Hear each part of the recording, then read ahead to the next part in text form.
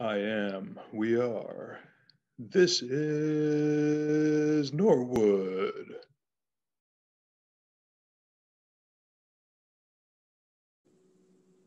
All right, welcome to I Am Norwood. This week I am here with uh, one of our residents who inspired my idea for this. Long time and soon to be retired, uh, as I am, will be as well, uh, Councilman Barry Scott. Barry, how are you? I'm fantastic, Paul. Doing well on this beautiful day. It's like yes, springtime it in the Rockies. It's fantastic. so lucky. Yes, indeed. Uh, good day for a walk around town. And uh, you grew up here, right? You were you born here? No, I grew up here. We came to Norwood when I was about two years of age in 1937. We came from Larchmont, New York, where my mother's people lived. They came over from Ireland and uh, settled there. Okay, you're a Westchester guy. I didn't know that. That's a, that's a I learned something new already. yeah. So, tell, tell us about Norwood during uh, what you'd call your childhood or wonder years here. Well, Norwood back in the 40s and 50s, I had a population around 12 to 1500. So you can well imagine there was no development at all in Norwood. There were no homes east of Piermont Road. Most of Tappan Road uh, to the west side of Tappan Road, past Broadway, was not developed at all. There was no development in the Fox Hill area. Uh, a lot fewer homes. Uh, everything was wide open. Okay, okay. It was beautiful. As a result, there was very little traffic. Very rarely did you see a car on Broadway. Very rarely, which meant that all the kids, all the kids, we rode bikes all the town, all over town, and we were never impeded by traffic. We at one time we counted, we were sitting uh, on Broadway, and we were counting how long would it take for a car to come by. Cars would come by, maybe one car every 15 minutes. So you can imagine how little there was no activity at all. There'd be some activity in the summertime when people from the urban areas, New York City, Hudson County, would come to Norwood. They thought this was the country. Huh. And as a result, we had all kinds of springs in Norwood. They would come with their bottle jugs to get water from the springs, the okay. wells. That was great because on Piermont Road, there was a place, there was a, uh, a little, uh, well, it was a hot dog stand. And uh, people love the hot dogs, and of course, the, the fathers love the, the cold beer. Uh, it was quite nice. It was called Maple Grove, and uh, it, it, was good. Good times. Hot dog stand itself was called Maple Grove, or that that area. The the stand itself was called Maple Grove. Okay, okay. Sorry, I missed that. that. There, there, like there, there, was no development at all from uh, the Erie Railroad track to uh, Piermont Road, except this little section called Yorkview, where I live. There are 11 model homes here because the developer had planned back in the 20s to build apartments and houses all the way from Railroad Avenue to 9W. They also planned high rises, commercial. They anticipated at least, at least 75,000 people living in the area. But the depression came, they went belly up. But still, the 11 model homes are here still. Where are they located today in Norwood? 14th Street and 15th Street. I live on 15th Street. And the concept was the concept where by there was a common green, all the homes faced each other, not okay. the street. The, the, the kitchens, kitchens faced the street, 14th Street and 15th Street. There was a common sidewalk. And everyone just played on everyone's lawn. Didn't matter. Okay, okay. ball, whatever. Mm-hmm. you had mentioned great. something about the orientation of those streets. What, what was the full story behind that? What they wanted to do is make it more rustic. And okay. they wanted to cut up, so therefore the homes faced each other. The living rooms faced each other, faced the sidewalk. Mm-hmm. And as a result, it gave a, a, a, walking down the sidewalk, the sidewalk is still there in parts. it gave a wonderful rural uh, aspect to it, I thought. Okay, okay. Uh, you've mentioned over the course of the time that I've known you, in uh, full disclosure, you were I was your running mate or you were my running mate, depending how you want to phrase it. When I uh, when I ran for council. Um, you had yep. mentioned uh, there's a history of, I guess, uh, hunting around here in, in, the earlier days, correct? Oh, definitely so. The rite of passage when you were either 14 or 15 years of age, you got your first shotgun. So all, all my friends had shotguns.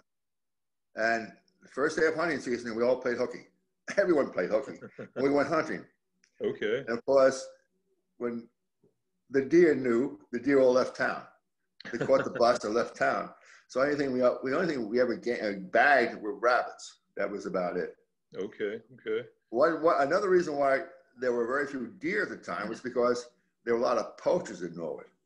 Poachers, uh, Poachers, yeah. Okay. Deer meat was a, a, a great commodity, and a lot of families that needed the meat, quite frankly. So they would go in the summertime. You hear shotguns going off. You know, another deer came down. I know some families in town. That's that's a valuable source of that protein. Was deer was deer meat. Okay, okay. Uh, I was going to ask you um, where where today was where you would typically hunt the most. Is there an area in Norwood now that was? Uh, we we, we hunted from the Erie Railroad track. Okay. All, all the way up to Alpine. Okay. That's a large expanse, and encompasses part of Closter, part of Rockleigh. Uh, be out all day long. What's the biggest thing you ever clipped when you were hunting? Rabbit. That's okay. it. That's it. I you never. I, you, very rarely would you see a deer during hunting season. Hunting season. Okay. And even non-hunting season, there are very few deer. Not like today. Not like today. Oh. In fact, I woke up this night uh, in the middle of the night this past evening, around three o'clock in the morning, and about ten feet from my front door was a deer sleeping on the grass. there balls on that one. yeah, and you know there were there were no uh, coyotes around that time, so the deer didn't have any natural predators. Okay, okay. But it, I think it was the poaching that really did it. it kept the deer population down. Okay. In addition to hunting, I think uh, we'd also talked in the past, I guess, about uh, certain uh, maybe prohibition era features to the town. What can you tell me about that? Well, uh, prohibition was big time in Norwood because there were all kinds of stills in Norwood, and the booze left Norwood via the railroad track, the uh, okay. West Shore Railroad, and it started with uh, around the Derrick property. There was a tunnel from the Derrick property all the way to the railroad track, and the tunnel connected two houses plus the Derrick property, so it fed into the railroad track. And the stories I heard, and Larry Derrick will verify this, is that the trains would stop, pick up the booze, and keep on going. Okay. And the feds heard about this and raided it, and the Fed was one of the, one of the feds was shot and killed. Oh wow! The, and the feds blocked the blocked the tunnel. Okay, okay. Uh, you had mentioned, uh, I think last time we talked about this, you had mentioned a place called Whitmer's on Tappan Road. How did that factor in? Oh, Whitmer's was right across the street from where Derrick used to be. Uh, it's where the nursing home is right now. I was going to ask you. Okay, okay. it was a uh, it was a uh, owned by uh, Mr. Woodman. Roy Wood, Roy Woodman, one of his sons, was in my class, and it was a bar, light restaurant, and all the troops uh, during World War II at Camp Shanks would come down when they had their R and R and drank there. And a lot of pinball machines. It was a place. It was a place that young kids loved to go to. You know, if you, if you were invited to Woodman's Tavern by Roy, you had one of the best days in your life playing the pinball machines. That was okay. oh my god, pinball machines! You kidding me? Unreal. It was fantastic. And the Woodmans had horses, mm-hmm. so they were always riding around town their horses. And we had we loved to ice skate, you know, but there were a couple of ponds where the golf course is. We used to go ice skating there, mm-hmm. and also we got went ice skating in the woods. Oh wow! That because the the, the uh, Ludlow Creek was not drained, had really wasn't much of a creek at all. When they uh, deepened Ludlow Creek, it kind of drained a lot of the swamp area. But we used to go uh, ice skating on over tree stumps and what have you. And also another thing was we used to go trapping. I had a line of traps for muskrats. Oh, wow. and every mus- every muskrat pelt I got uh, was 75 cents. And 75 cents back in, let's say, 48, 49 was a lot of money for a kid. Because nobody got an allowance. I mean, you know. so it was fun. Growing up in Norwood was just unbelievably fantastic. It really was. How long was Whitmer's here? When did that? Uh, be, first time I was in Norwood was uh, for a wedding uh, at what became, I, I, guess, eventually the catering hall there. Yeah, uh, they sold out. I'd say in the uh, in the early, oh, maybe late fifties. Okay. Okay. There's a period, all kinds of owners after that. It, it had about five to seven different owners. Changed the name each time. Okay. Uh, the, the creek you referred to, where is that today? Is that is, it, is that still in town? It's, it's, yeah, it's right by the pond. It's east of the pond. Okay. It's called okay. Ludlow's. It, it's on the map. It's called Ludlow's Ditch, but I don't like the word ditch. I call it creek. you know, Ludlow Creek. It's, it really is a creek. It's not a ditch. Okay. it drains from Rockleigh all the way into the uh, Hackensack Water Reservoir. Okay. Okay. Uh, and I, you, you had mentioned uh, the years you'd you'd be doing various uh, ice skating and everything. Uh, you were Norwood Public School class of '49, correct? That is correct. Yeah. Excellent. that was, you know, you know, my class size was about 27. The, I guess the total enrollment in the school was maybe because we had full full day kindergarten back then, maybe 225 or 250. Okay. We had one principal, West S. Brown, a part-time secretary, a janitor one teacher per class, and we all did well. We all, no administrators, none of that BS. it was very simple and plain. In fact, the principal, West S. Brown, was one of the best teachers ever. He also led the, uh, the band, the choir, in charge of all theatrical presentations, like the Christmas plays. And he taught English, eighth grade English. I learned more from that man than any other teacher in my life except for Dr. Ruth Stevens at Tennessee. He was unbelievable. I mean, he was unbelievably fantastic. And everybody was totally, uh, uh, not afraid of him, but totally respected him. He did not mess at all with West S. Brown. Because if he did, he'd call your mother, and your mother would beat the crap out of you. You just didn't do it. Shoot. and uh, I assume Mike wasn't on the school board at that time. I just want to make sure. Oh, no, no, he wasn't. No, my father, as a matter of fact, was on the school board during that period. Okay. and my mother was one of the first uh, one, one of the first presidents of the PTA, now called PTO. Okay, okay. What sort of issues are facing the school at that time? Well, a lack of equipment for the kids. Uh, one of the first things the PTO did, or the PTA did, was uh, fund monies for a basketball hoop and a backstop. Okay. That was big time because we didn't have that. You know, all we had was a field and made your own games, softball. That was about it. But now you can play basketball, you know, which was which was great. And also what they did do because at that time, uh, at lunchtime, you had to go home for lunch. Mm. Except the, except for the kids who lived in Yorkview, they felt it was too far with no sidewalk, so they could eat in school. But my mother organized on Fridays a free lunch okay. for all the kids. There was a large auditorium in the old school where everybody ha- had their lunch. Usually it was very, you know, soup or something like that. But save the kids from going home, you know, in the, in the winter or the rain, you know, in the snow or the rain.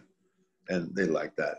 And on Saturdays, uh, sometimes they would show movies, old Charlie Chaplin movies. Okay. And that, you know, free. And everybody kept the, uh, had the kids doing something. And also she helped organize with the three uh, different churches, a dance for sixth, seventh, and eighth grade kids is called the Teamsters. And every month during the year, except for the summer, they would alternate where the dance would be. And that was, oh, that was fantastic. You know, dancing with girls. Oh my God. That was, it was wonderful. Shoot, I wish I was here to DJ that at the time. I love it. so I, I, guess my point is growing up in Norwood was just idyllic, truly. Excellent. That, after high school, I mean, after uh, uh, Norwood Public School, you told me uh, uh, the regional high school is not here, so you went, or how'd you wind up in Tenafly? You said you're Tenafly class of. Well, yeah, yeah, choice of going to close, the old Closter High School or Mhm. Tenafly High School. And the thing about going to college, it was recommended you went to Tenafly High School. They thought Tenafly High School had a better reputation. Uh, Is that true or not? I have no idea. But that was the recommendation. So all the kids who were thinking about going to college, for the most part, not all, went to uh, Tenafly High School. Okay, okay. So how big was the graduating class there at that time? It was about 220, 225. Okay. In fact, uh, we had a 60th reunion, like seven years ago. Oh wow. Yeah. How about that? Must have been interesting. Was there a it lot was. people- And, lot you know, a lot, a lot of people are still with us in that class, which is really surprising. That's excellent. Really Was there a good? Was there a good amount of Norwood folks that year? Uh, there, there were nine kids from Norwood, but I was the only one who, no, myself and Nancy Teeters were the only two in the class of 53 that attended the 60th reunion. The 50th, there were more, like Enid Kilpatrick. Uh, who else? Helen Hasselstab, I believe. Donald Creppen. That's all I can think of. Okay. Where where where'd they hold the 60th? Was? They, they held it at uh, the uh, hotel in Tenafly. What's the name of that place? The uh, Clinton, that one. Yeah, Clinton, right? Clinton. Okay, okay, Because we, I, I had some cl- uh, classmates who had connections with the, the country club, Tenafly Country Club. We could have held it there. And they didn't want to do it. They said it would be too expensive. But come on. I mean, after 60 years, you can't spend another $5 or $10. I mean, I'm saying. you know, get on the bus and go home, for Christ's sakes. So, yeah, it was, Yeah. It, that, it was good though, but it wasn't a dinner; it was a brunch. They expected people from come to California for a brunch. I mean, you know, I guess they were thinking about their own convenience. They were worried about uh, driving at night. You know, I mean, all of a sudden, you know, you turn seventy-five, you become a little foggy. I mean, get, get with the program for God's sake. Shoot. so, wa- wow. So, so what was the next stop after high school? Getting back to your, your own history in town here. Well, after after high school, I went down to uh, Tennessee for my uh, my college. Okay. Okay. and uh, I love Tennessee. My first trip to Tennessee was by bus, going through the Shenandoah Valley and the Blue Mountains, and uh, I think it was you know what else? It was the Appalachians we crossed over. I couldn't couldn't believe how beautiful the area is. So I was really happy to get to uh, Tennessee.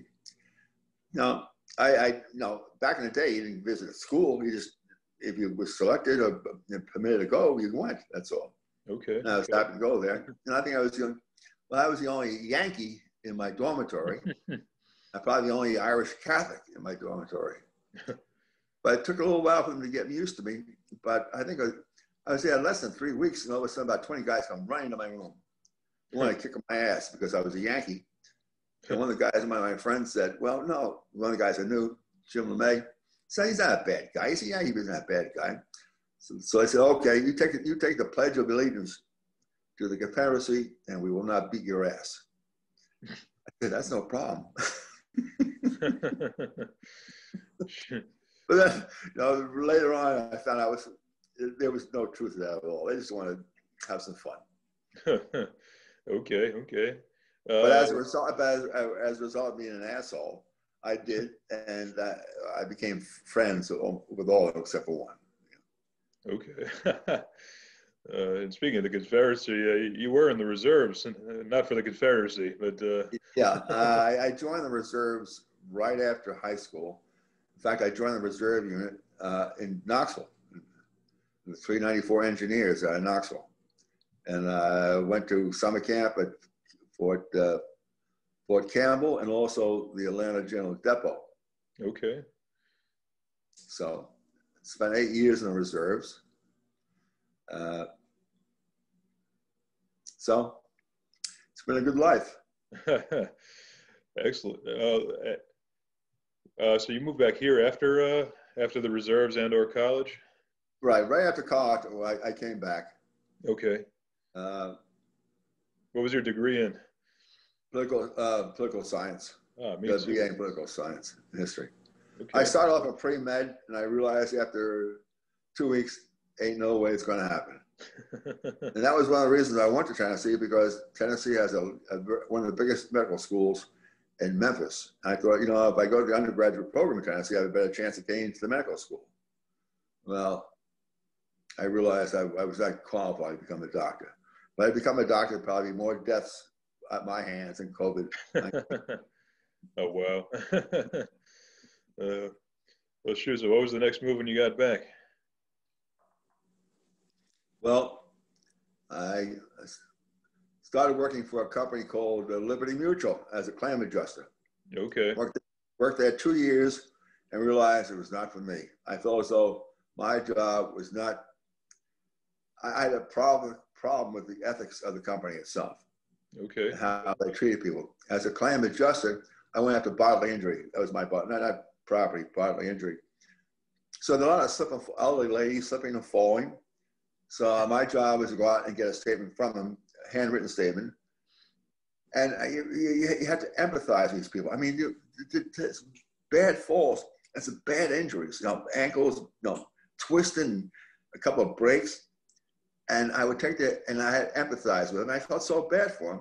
And all I could do is give him no more than $25. That's it Oh wow. to sell the claim for twenty-five dollars. That was my job.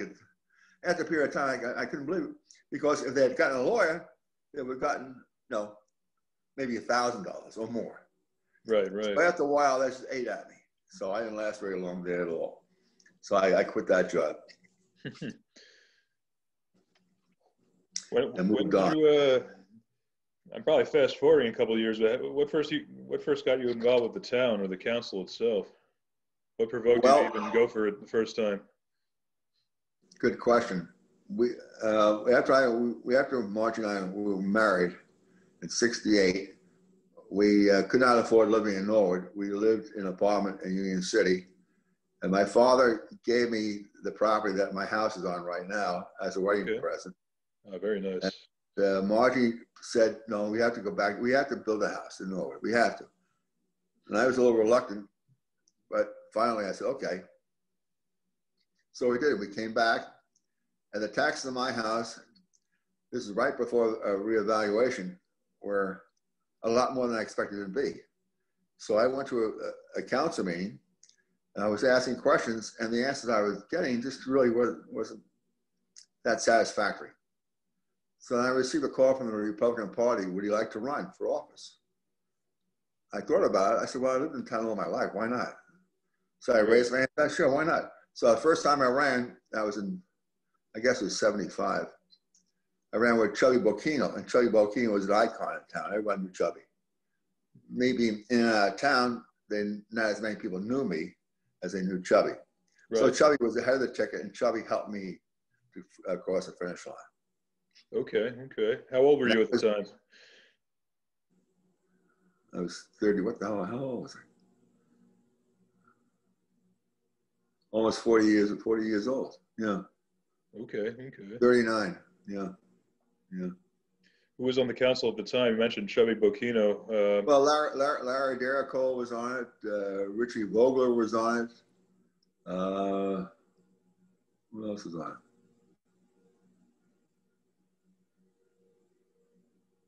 Ray McKenna was the mayor. okay. Uh, I forget who else was on. it. So we're- well, tell, us- tell us about the first term. What went on during uh, your, your first stretch on? I think it was two terms you, you did the first time. Tell, Right. What went on during all that time? What- What stands out today? Well, one of the big things, right before uh, they changed the zoning on uh, Livingston Street, uh, that was Ray McKenna's thought. He wanted to bring an A and P into Norwood. He felt as though the seniors did not have uh, the proper transportation or could not get to the, the A and P down Closter, which Okay. was a small one. So, and all the people living on Livingston Street loved it because they knew their property value was skyrocketing. Yeah.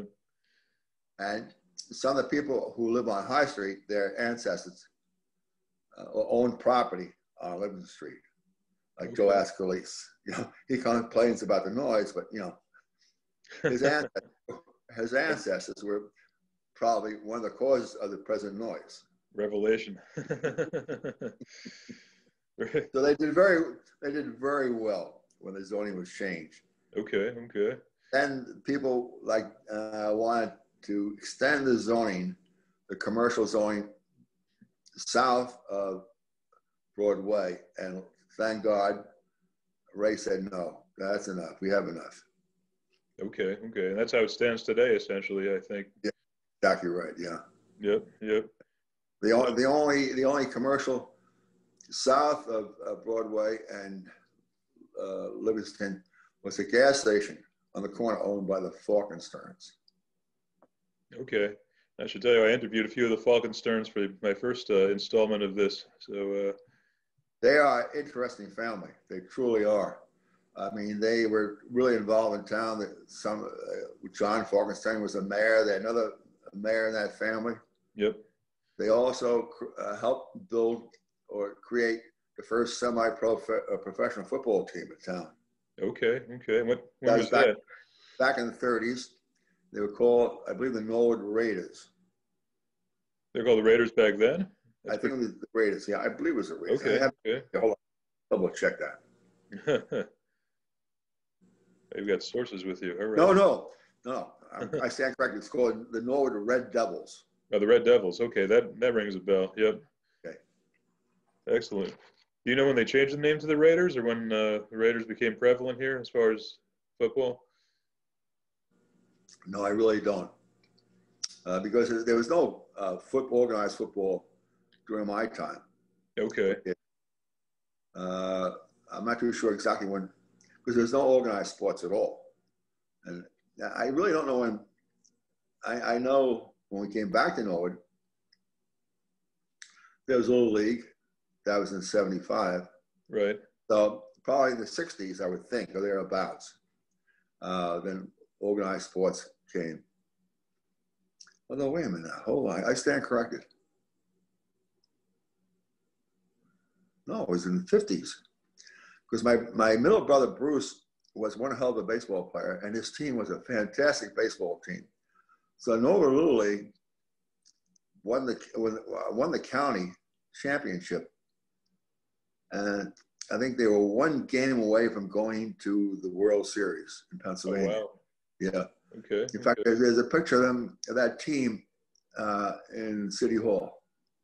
Okay. Where can we find that in the Borough Hall there? I think I think it's it might be in the collage of, of pictures. I'm not too sure. Okay, for anybody listening, go check that out. uh, yeah. Little piece of history there. Um, yeah.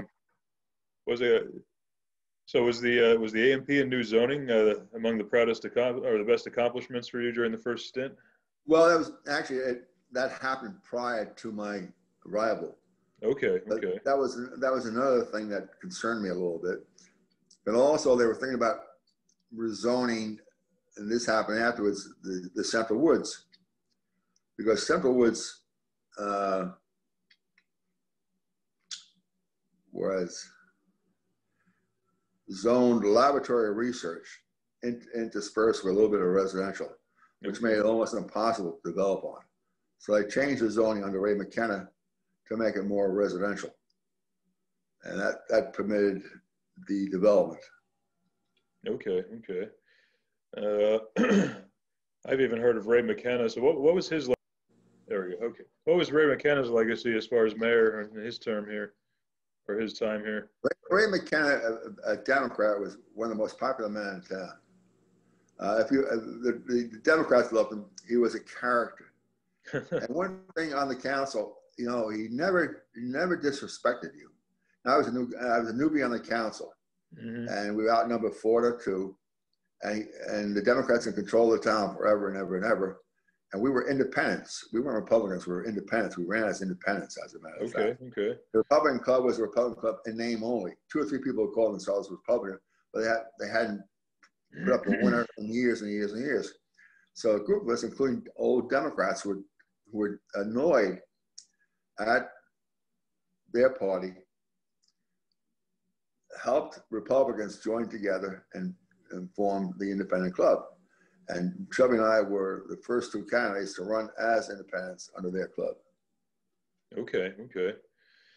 And we ran uh, several other candidates as independents. And then the Republican Party came back into existence, supposedly. And the Republican Party ran a slate of candidates themselves against us. Uh, so we all went down, and Democrats took control again. Okay, okay. Uh, so well, then, then we decided that this is crazy. We'll, we as independents will then now join the, with the Republicans and join. We, we have to for the town. Even though some of the individuals in the Republican Party at that time were assholes, on the French, they truly were. you know, we can't let the Democrats control, continue to control the town. Okay, okay. Uh, this is around the this last last year. Of your first term was eighty two, correct? Yeah. So yeah. that was around then. This this was all going on. I'm sorry. I I'm eighty.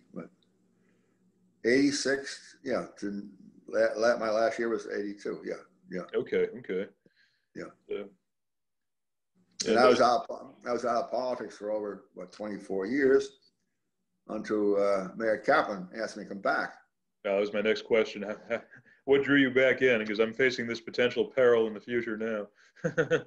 well, there was something I, uh, there was a great rumor, a lot of rumors that the Central Woods would be developed. Okay. Uh, Radrusi wanted to expand North Woods.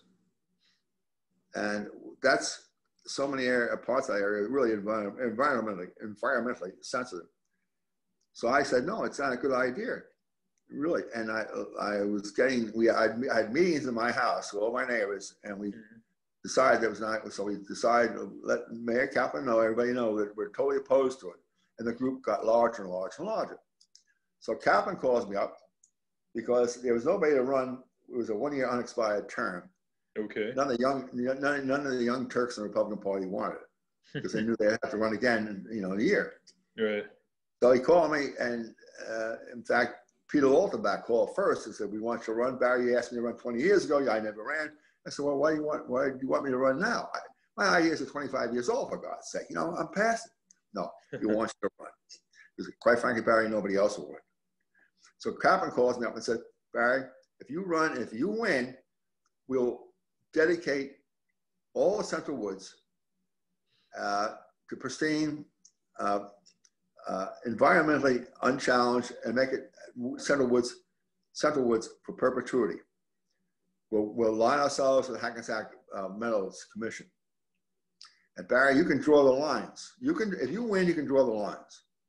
I said, fine, I'm in. I'll run. I ran, and he was good to his word. I drew the line where it should be. I had to make it simple. That's the way, best way to do it. Don't make it complicated. Make it simple. Yep.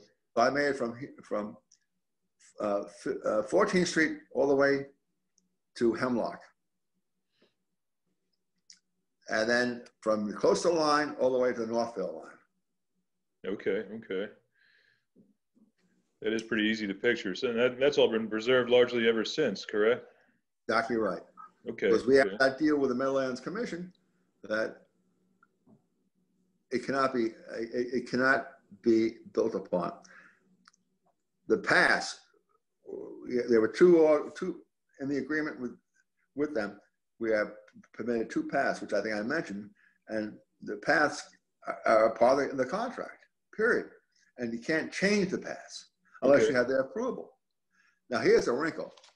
I read, because I read the contract, mm-hmm. and the contract stated that if for some reason the Meadowlands Commission goes out of business, all that land under the auspices would revert, its ownership would revert to the state of New Jersey. I said, no way. There's no way. Because all they have to do is not fund it and it's gone, right? right? Yep. And I said, no, no, we can't do this. So the Meadowlands Commission agreed with me, but they had to get approval from the state attorney. They got approval from the state of New Jersey. So that waiver was out of the contract. You know, Jesus, I mean, come on, they're trying to screw us. right, right. Okay. So, um, was it, so, so who, who was on the council when you rejoined in 06? Uh, no, who was on so six?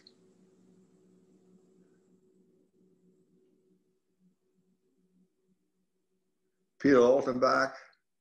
Okay. Uh, I don't know. I don't know Jim was on the council then. He may have been. Okay. Okay. Um, Those watching, he's of course referring to current mayor Jim Barsa. yeah. Who else was on the council back then? I guess a few other options would be Ed Condolio, Frank Marino, Joe No, Escalade. Frank, Frank was Frank wasn't on then. Uh, Ed Carleo was wasn't on then either.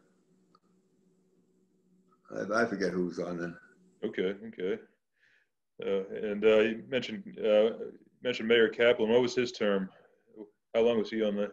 He was on uh, uh, for, uh, one term and became appointed a judge, and he was a, just a good guy. A really, everyone liked him. Really enjoyed. him. A great personality.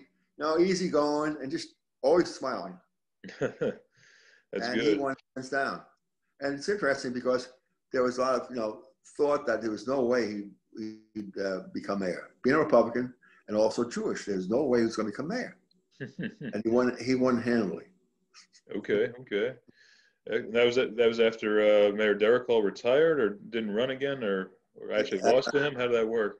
Is Uh, well, uh, he didn't. Yeah, he didn't run again. Uh, he stepped down voluntarily after 20 years. 20 years as mayor. You know? okay. You sat that out. You- weren't on during Derrick Hall at all. No, no. Okay. Okay. Uh, you remember anything about the town during that period before we get back to your second period? During the time of uh, Mayor Derrick Hall, Yep. well, he did so much for the borough of Norwood. He really did. Uh, he was the one who really augmented and saw the vision of building uh, Fox Hill for the seniors, 92 units. That was just a major achievement. Really. Mhm. Uh, he also, you know, under under his brother being the police chief, uh, he made sure he increased the size of the department Okay. Okay. for the benefit. Now, growing up in Norwood when I was a kid back in the 40s, guess how many cops there were? Two. Two. Okay. Chief Stozer and Sergeant Otto Lang. Just two cops. Okay.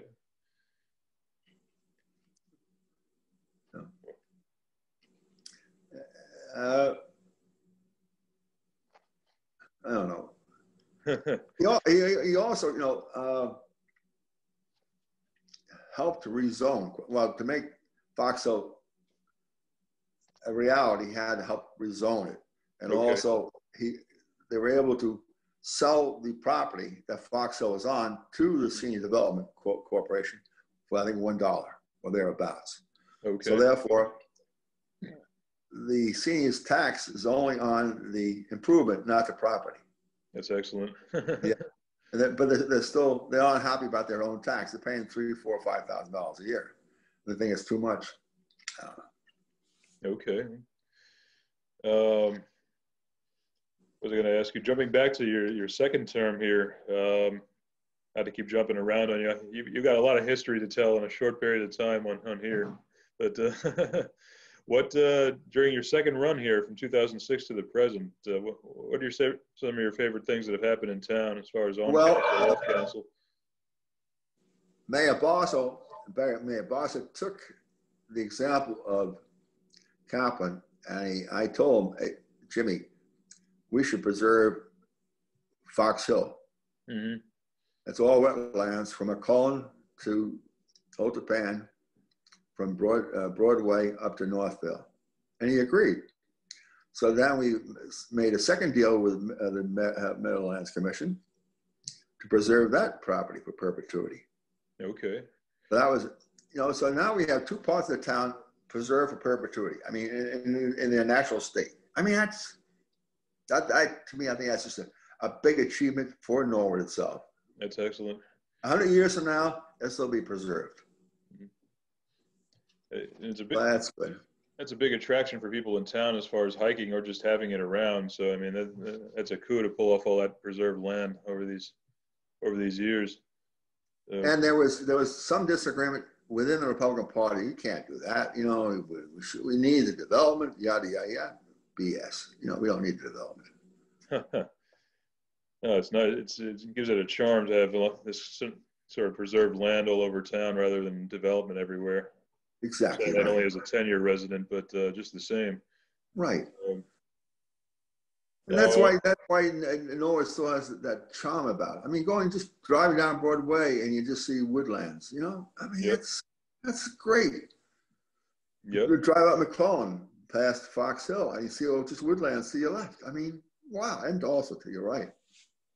yep. Eh, and is there anything you prefer that didn't that wouldn't wouldn't have happened during either of your terms in retrospect? On the flip side of that. Good question. Doesn't have to be any answer necessarily, but uh, no, I, I, nothing's happened that, to in my estimation, has been that has been detrimental to the town. Okay.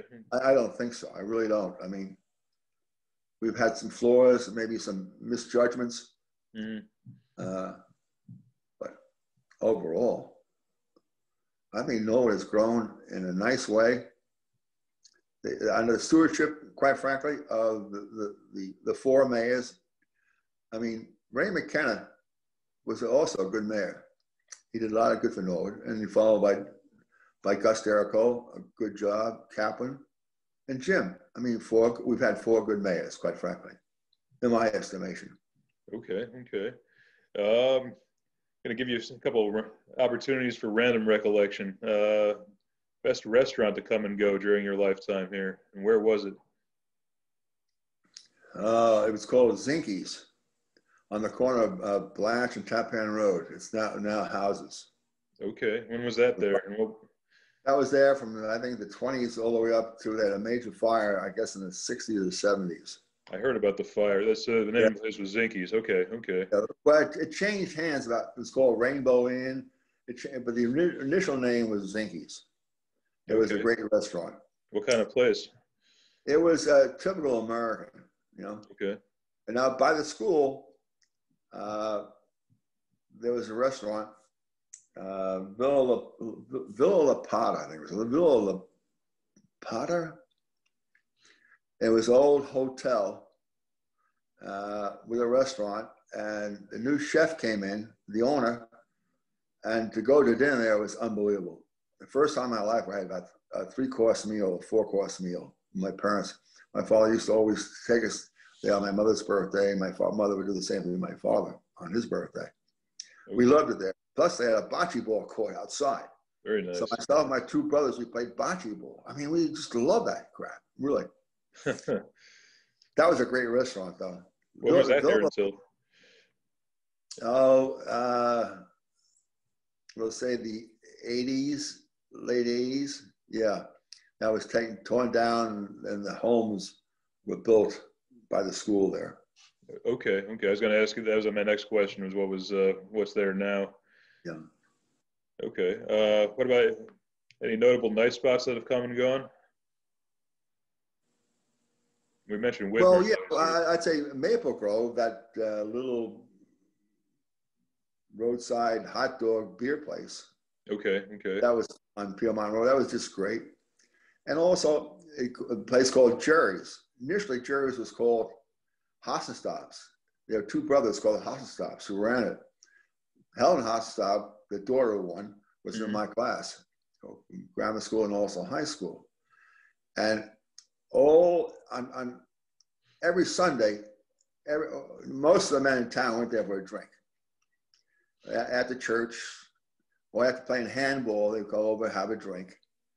And the nice thing about it is that no telephone, so the wives cannot call their husbands to get their ass home. the hard job many times because every every Sunday my grandparents would come over from White Plains and had dinner with us. Okay. My father would go out the front door, my my grandfather would go out the back door. They'd jump in a car and go to Hossenstops. uh, we, we couldn't get them home, So my mother would say, boys, get on your bikes and get your father and your grandfather home. We're going to have dinner in about a half hour. so we go over there, ride our bikes over there. Yeah. My father, come on, kids, come on. You guys want a Coke? Yeah. Oh, well, yeah, okay. You want some, my grandfather wants potato chips? Yeah, yeah, yeah. Okay, enjoy it. You guys go over there and play the shuffleboard. So that the shuffleboard machine there was, uh, the shuffleboard table was fantastic. In fact, that shuffleboard table right now that wasn't Hasenstaub's is now in the American Legion. Okay, okay. So my, my, my father, my grandfather, in a way, bribed us to stay there and have a great time. We didn't want to go home either. What the hell? Why, why go home? We're getting free Coke. You never had Coke. You never, you know, Coke was never at home. Come on. No. Right, right. You had that, water or milk. You had water or milk, orange juice. Period. That was the current Jerry's place, you said.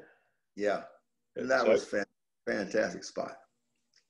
Good, good size place even now, and it's changed well, it, it, you know, so, I've been here. yeah, so. it, it, was so small at the time. You know, it's maybe one third of the size, and okay, it changed. Okay. I stopped sold it. It changed hands many times. Right. Many. Every every, every neighborhood has that place. yeah. Uh, now, uh, how about some? Uh, give me one or two off the top of your head, or more uh, colorful figures in Norwood history that we wouldn't have otherwise been asking you about. I would say the most colorful were the Conti brothers. There were three brothers, uh, lived in a little farmhouse east of Yorkville, my section of town. Okay. Uh, they came over from New York City back in the 30s, and the house was empty. My the story I was told, they kind of squatted. They just moved in. Okay. and they, they fixed it up, and Mrs. Conti uh, made money by lots of chickens, sold eggs, had a cow, gave out milk. I mean, it was like a small little farm. Oh, wow. And the three Conti brothers were the ones who were the great hunters. They're the ones who were the they were all poachers, quite frankly. Okay. uh, and they were just great people. They all they all part of the fire department, all part of the American Legion, and they were characters, really characters but good guys and good hearts. In fact, somehow, somewhere after World, they were all in World War II in the uh, European theater, and they came back all kind of pull all kinds of weapons. I mean, uh, pistols, uh, machine guns, uh, grease guns, rifles. I have no idea how they got them home. Wow, you know, they got them home. The whole the whole room was filled with guns. Okay. I, mean, I don't know. I, I, I, don't know the count, but it was to me back now in those days, it seemed like a lot, like 50, 75, you know, just a lot of weapons, a lot of weapons. wow. Wow. Um, and another guy, uh, let's see, I'm, I'm, trying to think of it. Uh, what's his name? It'll come to me in a second. There are some other characters too. But what, you know, one of the great people was the, the priest in our church, Father Charles Arshoff. Tell me about uh, him. He, he uh, a Carmelite, he came to Norwood back in the 40s, and I was an altar boy for him. And he single handed put the arm on every Catholic family in town to build a Conception school. Okay, okay. And you were on the school board for them at one point too, right? I was, yeah. That was towards that tail end before the enrollment dropped off precipitously because at, at, the time we he had a, an agreement with the uh, a group of nuns. I'm not too, I don't know, the Maryknoll nuns, I forget now. No, they were Carmelite nuns, I believe, yeah. That they would, you know, uh, man the school, you know, mm. provide all the teachers for the school. And as their numbers dwindled, then you had to go, you know, get uh, non non religious to be the teachers, which cost more. And all of a sudden, school started pricing itself out a little bit. Because okay. Norwood Public School is a good school. And they said, well, we'll just go over Instead of paying a couple thousand dollars a year, we'll save the money, you know, and go there. And that's what they did. Right, right. I can't believe I forgot this earlier, but uh, tell me about the history of the American Legion in, uh, in Norwood. Well, the American Legion uh, was founded right after World War II. Okay. And one of the, one, one of the first commanders was a woman, oh. Mary Trout. She was born in Norwood. Okay, uh, good. In fact, she was the first child to be baptized at uh, Immaculate Conception. back in the 20s. The, the, the Immaculate Conception Church used to be uh, a so-called men's club, mm-hmm. and they kind of went out of business. The church bought it, and they uh, that's we used to have. I think mass before that was held, I believe, in the firehouse, and then they they bought that, and the Carmelites were there for forever until about 15, 18 years ago, and the not enough Carmelites, so uh, the Carmelites said, "Well, we went to the archdiocese. We we can't we can't supply priests there, so why don't you help us and take it over?" And We've had secular priests there ever since. Okay, okay. The, the Carmelites was unbelievably fantastic priest, really. Okay, okay. Then uh, tell us about, uh, I guess, the impact American Legion's had over the te- in the town over the decades since it was set up. Well, it's the American Legion really started the Memorial Day parades. Okay. And they've always they've always been an altruistic group, and they used to have dances there. One of the big fundraisers were dances, mm-hmm. and uh, several times a year they would have. Uh well, one of the dances was uh, hunters would bring back, you know, whatever, donate deer meat or, or rabbit, pheasant, and Lou Bedrado would make, cook, actually cook the dinner. He used to make polenta too. And that was, and they always had a band and a great dinner and a packed house downstairs. and uh, that's what, one of the main um, uh, money raises, which you, you know, you need money to keep things going. I mean, today, the insurance for the American Legion is like 25 grand a year. 25 grand a year for insurance because oh, of the bar. You know, right, right. The, bar, the bar doesn't bring in that kind of money. right, right. How many active members are there today? Well, I think they have a total membership of over over 80. Okay, okay. Active, I'd say 30, maybe 40. Okay, okay. How many attend meetings? Maybe 20. Okay, it's still alive and kicking here, though. Oh, it is. I mean, uh, it really is. Can you describe Fred the? Uh... Fred Ryman is the commander, and he does a hell of a job. He really does. And Steve Minch is the uh, adjutant. They they just we have, they have it's a good leadership team. Can you tell me about the Memorial Day parades that they had at, the, at their peak? What did those look like? I know they're well, a little quieter these days, but back I'm saying when they were first getting rolling, or you know, even well, back then I mean, everyone participated. Every group, okay. and, and, you know, and the American Legion. I mean, they were all back in World War II, so they were much younger, so they could march, right? Mm-hmm. And uh, sometimes you have 30 to 40 members of the American Legion dressed in their uniform marching. Okay. Always had a couple of bands. The high schools were represented. The Boy Scouts were. Every group was in town was represented. It was just. It was a big, big parade, a huge parade. Of course, the fire company I think back in the time, initially they had maybe one truck. The ambulance corps didn't, wasn't really in existence at the time when it first started. When it started, maybe they had, uh, maybe they had a truck. Uh, but, but it was huge, and they always wound up at the American Legion. And they started a tradition, uh, you know, if you're in a parade, uh, come out over the American Legion and give out free hot dogs and soda or water. And okay. that's been a long tradition. So it was, you know, just it was important after World War because everyone was really involved in World War II, even mm-hmm. kids. I mean, our job was uh, to go around collecting any metal pans or pots that people didn't want. We bring them to the school. The school would then bring them down to Hackensack to be melted, supposedly for armaments. So that was we were in, invested in it. And also, we had a, in the springtime we'd go up and pick this like it's like a fluff dandy dandelion uh, silk and bring it in bags and bags. And we were told that was needed for life preservers. Okay now, i don't know if it was used for life preservers or not but that was that was what we told and we brought down bags bags and bags of it and uh, went to the school and the school then sent it to the proper authority so we, we really thought as though we were invested. Also, everyone at the time had a, a victory garden.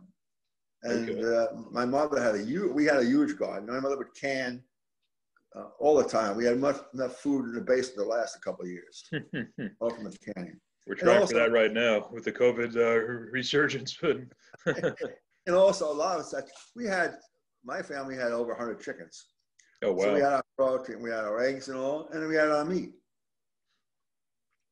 wow, And almost every almost every uh, family in Yorkview had some sort of uh, livestock.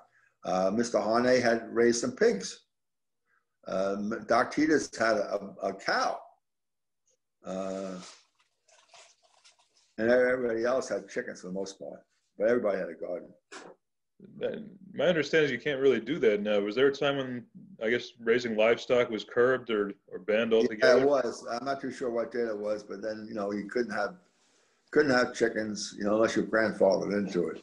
And after World War II, uh, we got rid of the chickens. I'd say by nine, five years after the war, all the chickens were gone. Okay, so it's been a while. There- Yeah. Okay.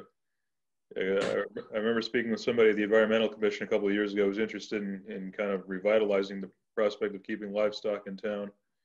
I think we should. I mean, I think it's a great idea. What's wrong? What? Well, they said, well, you get rats, you know, you get weasels. Oh, come on. I mean, in the please. You know. Right. Well, That's actually an interesting segue for this question. What would you like to see happen in the future as far as uh, new things for Norwood? See, you've seen all I would, I would love, to. I would love to see, you know, a, a joint operation between private money and municipal money or public monies to build an ice, indoor ice rink. I would would love nice. to see that. That would, that's, that would be fantastic. Because it's so popular these days and ice time is so Mhm. expensive.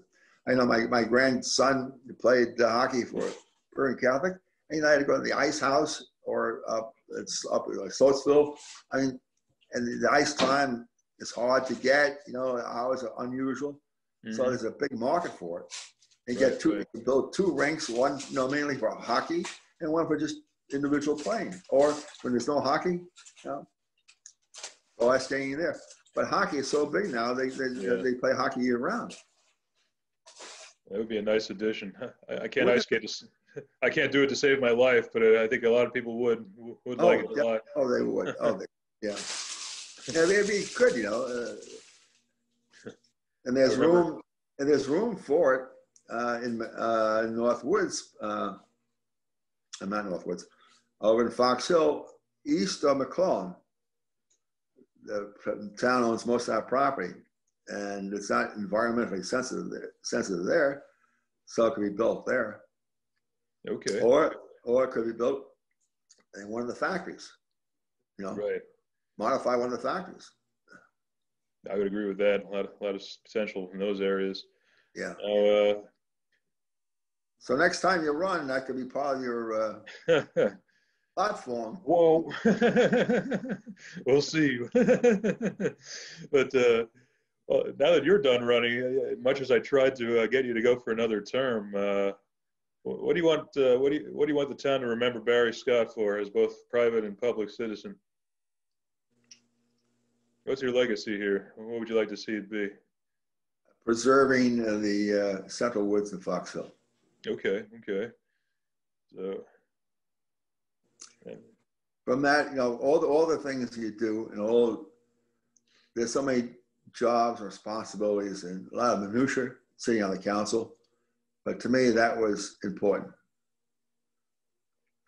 Right, and I would say if this winds up being my only term, I was very happy to get the uh, both the uh, the police and the schools, given what was going on uh, with school shootings, and uh, also very happy to see uh, you know the, our kind of timely rea- responses to the COVID pandemic. It felt like uh, we didn't waste a lot of time getting our arms around it; we just jumped on it. And Well, you're uh, right. Interesting point.